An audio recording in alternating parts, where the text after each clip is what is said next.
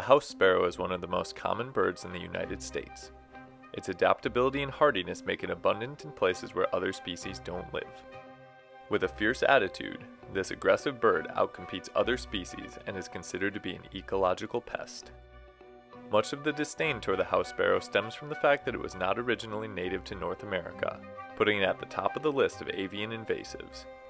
So where did the house sparrow come from, and what do we do with it now that it's here? Before we look into the story of the house sparrow, let's take a minute to understand it as a species. The house sparrow is a stout bird with a round head and short bill. Males have a chestnut back, gray crown and underside, white cheeks, and a black bib. Females are light brown with buff and brown striped backs and a buffy eye stripe. The house sparrow's native range is Europe, Asia, North Africa, and the Middle East. They live in groups and can be found near humans as they take advantage of scraps left behind in cities. House sparrows are extremely territorial cavity nesters and will attack other birds trying to nest in an area they inhabit. Now for the house sparrow's westward expansion, let's go back to the year 1850. Millard Fillmore had just become president after Zachary Taylor died in office. The entire western half of the U.S. was territories, and the Fugitive Slave Act was passed by Congress. This is pre Civil War America, and in the midst of a migrant boom with over 30 million European immigrants making their way across the Atlantic between 1836 and 1914. At this time in American history, a fascination arose for trading wildlife from one continent to another. Many wealthy individuals and societies on the East Coast began dabbling in this hobby. One such organization was the Brooklyn Institute in New York. To know the story of the house sparrow, we have to know the Institute's director, Nicholas Pike. Pike cemented his spot in the story as the man responsible for the first house sparrows brought to the United States when he had eight pairs shipped over in 1850. The cited reason for the introduction? To control an infestation of insects, either cankerworms or the larva of the linden moth. A second reason was to bring a species to America that European immigrants would be used to and find pleasant. Yes, that's right, pleasant.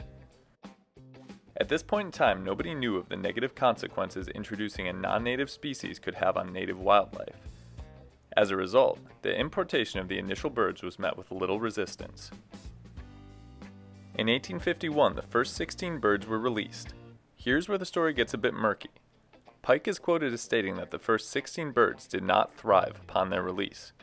Some argue that this means all 16 birds perished. Others suggest this may just mean that they disappeared, perhaps dispersing and starting their lives as the colonists that would one day spread their species all across the world. In 1852, Pike was appointed consul general to Portugal and sailed to Liverpool, where he made a large order of songbirds including 50 more pairs of house sparrows. The birds were shipped over in the steamship Europa. Pike, however, was on his way to Portugal and was not present when the sparrows made it to America. 50 of these birds were released in the Narrows in 1852, and then another 50 were released at the Greenwood Cemetery Chapel a year later in 1853. The problem is that Pike did not witness the release of these birds, and his account is the only one to go off of as it pertains to the initial three releases. As a result, it's impossible to say which batch of the released birds was the first to gain a foothold in the United States. But let's pause for a second because something important happened in 1854 that changed the landscape of world bird life. Halfway around the world in Paris, the Société Zoologique d'Acclimation was founded by French naturalist Isidore Geoffroy Saint-Hilaire. The goal of this group was to bring in flora and fauna that could be useful for pest control and food sources. In America, copycat societies were starting to pop up as well, including one in New York. Now, let's get to know another important player in this story, Eugene Schieffelin. Schieffelin was a pharmacist and amateur ornithologist, very interested in the importation of European bird species. He was a prominent member of the American Acclimatization Society and started by importing house sparrows as pest control around his Madison Square home. Schieffelin was not only responsible for the release of many house sparrows, but is almost single handedly responsible for the release of another invasive, the European starling. But that's a story for another time. Anyway, Schieffelin certainly played a role in the propagation of the house sparrow, and along with other sister organizations, such as the Cincinnati Acclimatization Society, continued to release European species into North America. Some other bird species released by these groups included song thrushes, wagtails, and skylarks. But the house sparrow was one of the few that was able to succeed. Why? For starters, they eat a wide variety of foods including grains, insects, and even fruits and berries. They are perfectly comfortable living alongside humans and take advantage of city structures to nest in. In addition, they nest earlier in the year than most migratory species, allowing them to establish nests before other birds migrate back to compete for nest sites. To make life even easier for the house sparrow, they lacked natural predators in North America, thus allowing them to multiply totally unchecked. In the following years, house sparrows continued to be introduced by various organizations. Portland, Maine in 1854, Nova Scotia in 1856, New Haven in 1857, and Peacedale, Rhode Island in 1858. By 1870, house sparrows could be found as far west as Texas and as far south as the Carolinas. In 1871, house sparrows were introduced to San Francisco and Hawaii. They were in Salt Lake City in 1872 and established as a breeding bird in California by 1910. In the late 1800s, people were beginning to notice the potential negative impact of the house sparrows. In 1887 and 1895, Illinois and Michigan spent a total of $117,500 on efforts to eradicate the species, the modern equivalent of about $2.2 million.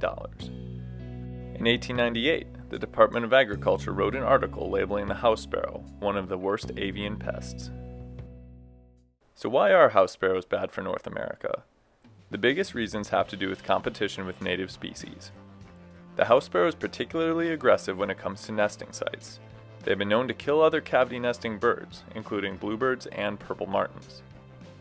Many bird lovers have nothing but disdain for the house sparrow, especially those who have ever had birdhouses invaded by them. So, what are people doing about this invasive species? Right now, not much. The house sparrow is so well established that it would likely take a massive initiative to even make a dent in their population. In addition, it's estimated that anything capable of wiping out house sparrows would also have immense negative consequences for native species.